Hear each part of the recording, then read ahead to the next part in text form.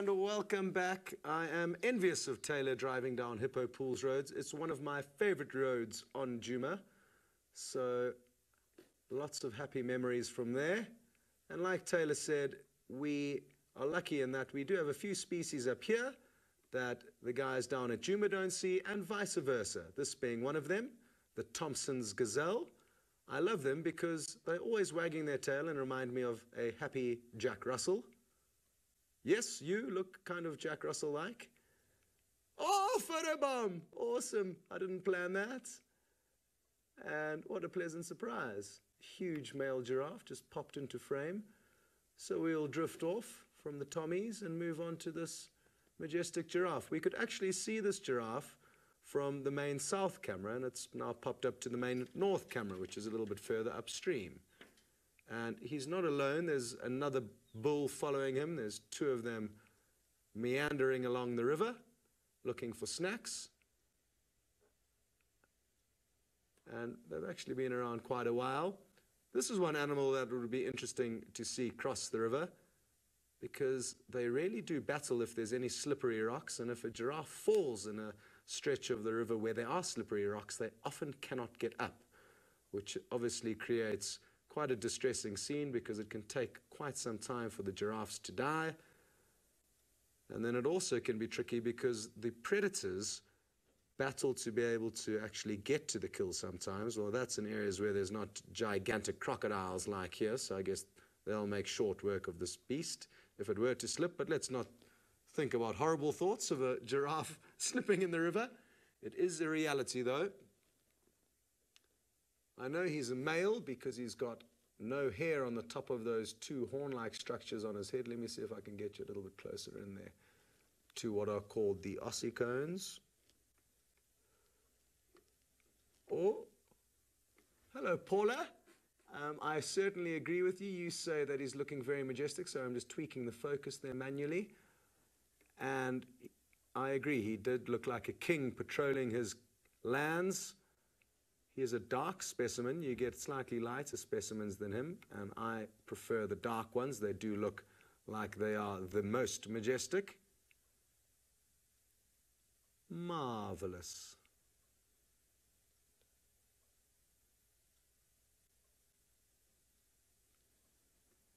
Okay, let me zoom out and see what else is happening. Hello to Lisa. You would like to know what one of the most exciting things is that Djuma does not have. Uh, I'm going to tell you two things. I'm going to tell you what I miss the most about being not being in Djuma, and I'm going to tell you one of the things that I love the most about being here in the Mara. And the Mara has allowed us to do some different things, one of which is spending nights out with animals, with infrared and thermal imaging.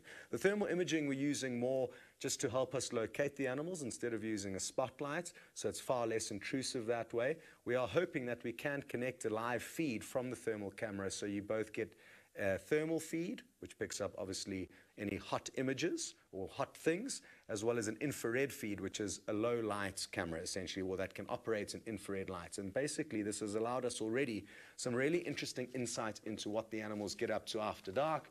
We followed five male cheetahs from sunset until 11 p.m. on a pitch black evening, no moonlight to assist them.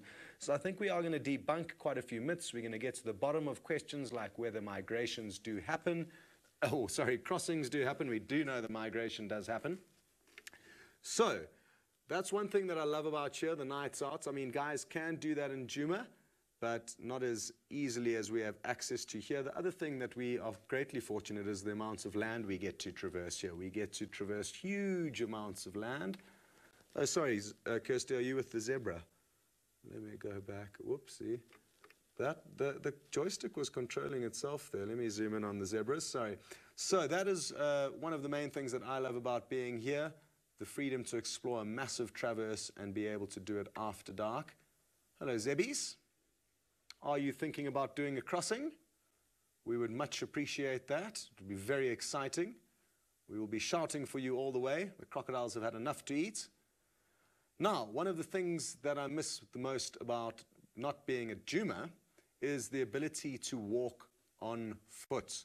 The bushwalks are one of my favorite ways to be able to take you guys on safari. So I really do miss that. And then another thing which I guess is related to being on foot is that you see they're quite far from the crossing, so it looks like they're just making their way upstream those zebbies. Another big thing that I love about uh, being on foot is that you can actually track animals. Whereas here in the Mara, tracking animals is not very feasible. There's just so much grass, so few areas where there's sandy patches to actually follow the tracks. And there's a lot more rules here, different rules that don't allow us to be out of the vehicle. So I'm really missing the art of tracking, walking around on foot. It's one of the most exhilarating things you can do.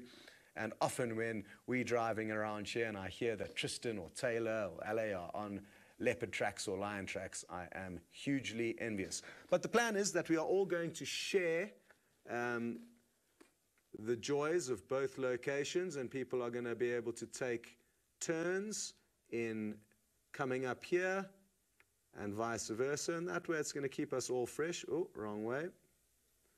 I'm going to drop down like that, a bit too much. Sorry about this, guys. As you can see, I need some practice.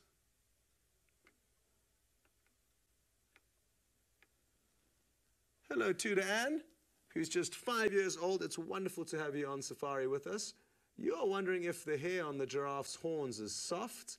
And yes, when there is hair on top, it will be soft and fluffy. I guess I've never actually felt one's horns, to be honest. But the females have got a tuft of hair, whereas the one that we can look at, we're looking at now is a male, and he's got no hair on the top of its head, which is often similar to us as humans. The old men go bald, and the women still have hair. So it's the same with giraffe. And yes, there is a little tuft of fur on top that I'm guessing will be quite soft. Okay, well, it sounds like Tristan's found something interesting. I didn't copy exactly what it was, but hurry on down and have a look for yourself.